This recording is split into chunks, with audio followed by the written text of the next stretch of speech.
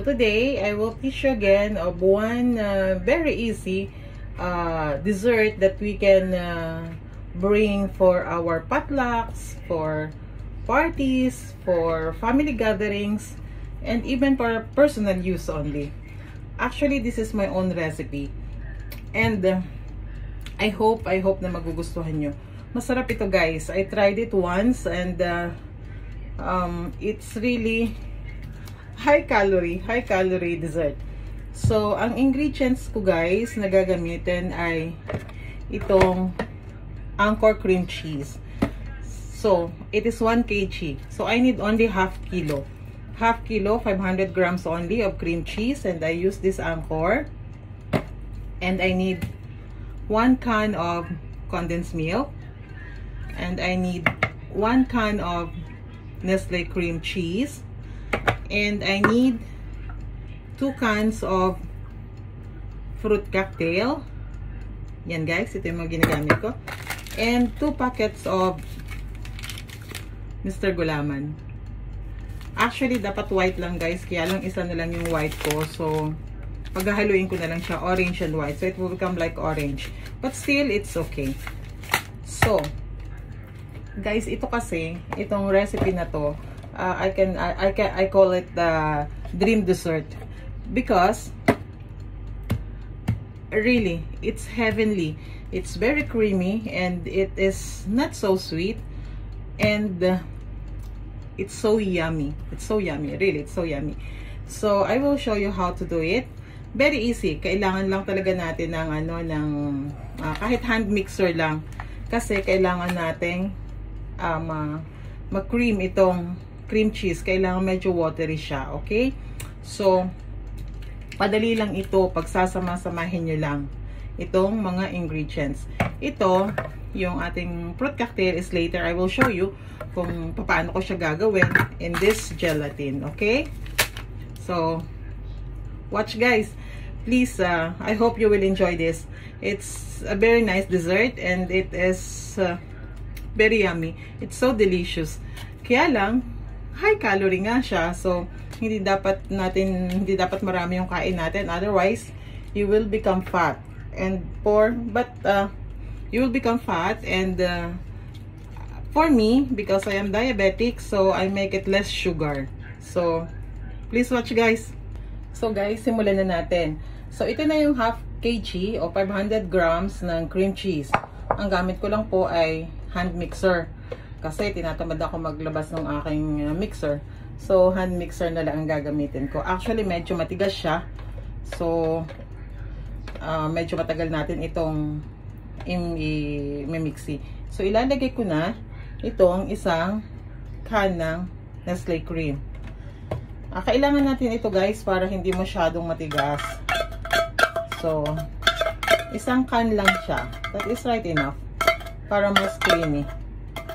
Hindi na natin siya lalagyan ng sugar kasi yung ating milk na gagamitin, itong condensed milk, matamis na. So, wala na tayong uh, sugar. So,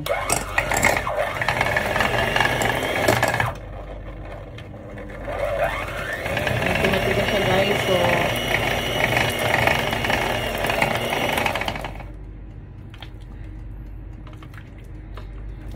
kailangan natin siyang madurog. So, dahil medyo matigas siya. Actually, mas maganda nga siguro guys kung yung stand mixer. Kaya medyo tinatamad na ako maglabas ng stand mixer ko. So, ito na lang yung ginamit ko. Sana okay lang. Sana okay lang siya. Medyo matigas eh. So, Lagyan na natin siya ng konding, konting condensed milk. Para siguro hindi masyadong matigas. So, condensed milk. Huwag mo na natin ilalagay lahat. Medyo konti-konti lang. Matigas yung cream cheese. First time ko na gumamit itong cream cheese na ito guys. Matigas pala siya. Kasi yung Philadelphia, hindi ganito katigas. Hindi siya ganito katigas actually. Um, not this much uh, not this much uh, um, thick and hard. siya guys kasi mahirap haluin sa mababaw. Uh, pag mababaw kasi medyo tumitilamsik. So, nilagay ko siya sa mas malalim na mixing bowl. So, ito na siya guys. Kailangan pa nating medyo i-refine.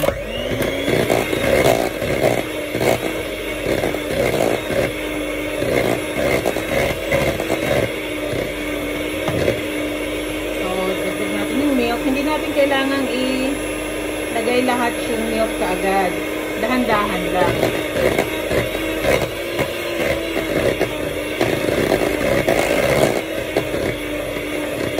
So guys, ito na siya.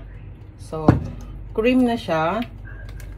So, kailangan na natin siyang ilagay sa lagayan. Okay? So, cream na siya. Ilalagay na natin sa bowl. So,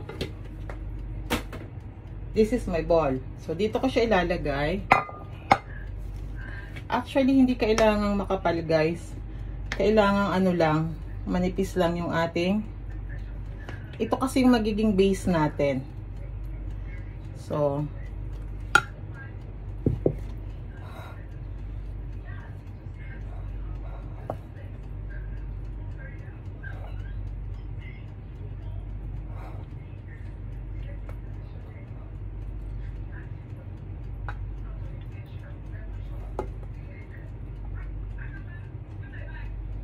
So, ganito siya guys. Okay? So, ito na siya guys. So, ito yung nagawa ko dun sa half kilo ng uh, cream cheese. Kailangan lang natin guys na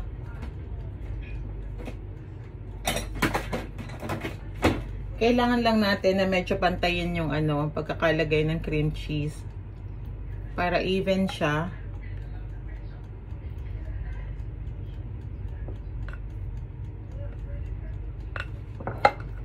So, i-even lang natin yung pagkakalagay kasi mayroong mas marami sa ibang part eh.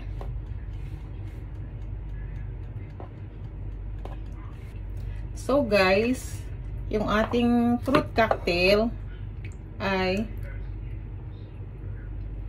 dinrain ko na. So, eto na siya. Eto na. So, ito na yung fruit cocktail natin. And, ilalagay natin siya dito.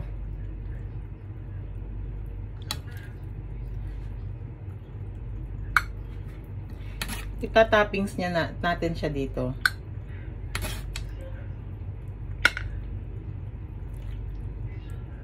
Masarap ito guys, promise.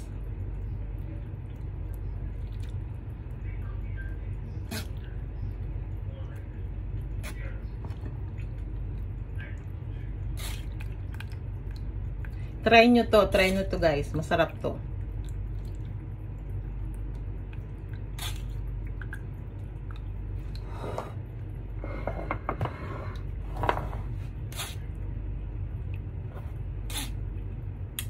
So, ganito lang siya kadali guys. Napakadali nitong gawin actually. Napakadali. Medyo matagal lang is yung pag uh, cream ng ating cream cheese. Kasi medyo matigas yung nabili nating cream cheese. So, uh, medyo matagal. Pero actually, meron kasing yung, meron kasing Philadelphia. So, mas madali siyang i-cream. Kasi mas malambot siya.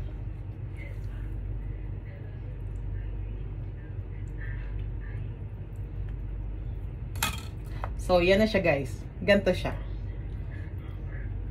Okay? So, the next, the next process is just wait.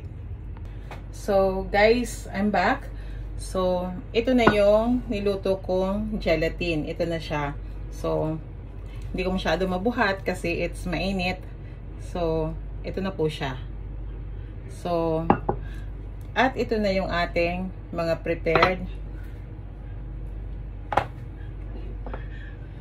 So, ang gagawin lang natin guys, ito yung last part. Ito na yung last part. Ito na yung ito na yung last part ng ating recipe. Actually, hindi ko na pinakita sa inyo yung pagluto ng Mr. Gulaman kasi meron naman siyang instruction dun sa likod.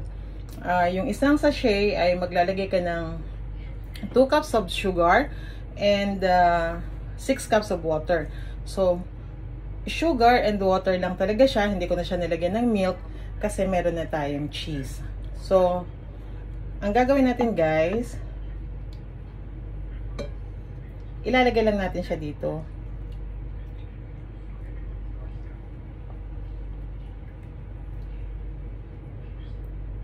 So,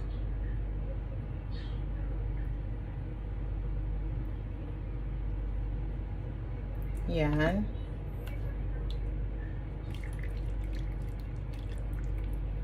Actually, hindi naman magme-melt yung ating cream cheese kasi medyo matigas siya. So, pag medyo malamig na, lalagay natin siya sa ref, guys. Sarap ito, guys. Promise, promise. Gawin nyo ito, gawin nyo ito. At, mm, matutuwa ang inyong mga dadalhan ng ating mga anak, ating mga friends, matutuwa sila sa recipe na to recipe, recipe ko ito guys. Uh, talagang parang naisip ko na mas masarap siya na ganito.